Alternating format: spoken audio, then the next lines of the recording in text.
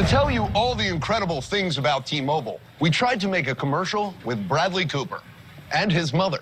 Hi, how can I help you? Yeah, I don't like the way you look. Does G-Mobile really have a 5G? America's largest 5G network. Try it again. Oh my God, you look like a flamingo in this. Okay. The America's America's largest largest 5G 5G network. network. How can I help you? Hi, how are you? Can I help you? You're making me crazy.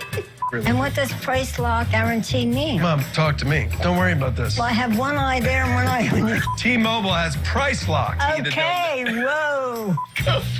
Give me the paper. Smile. You look like a clam. I think I know what I'm doing. I've been nominated nine times. Yeah, but you never won any.